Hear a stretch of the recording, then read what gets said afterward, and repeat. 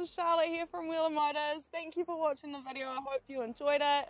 My details will be on the next slide. I look forward to seeing you very soon.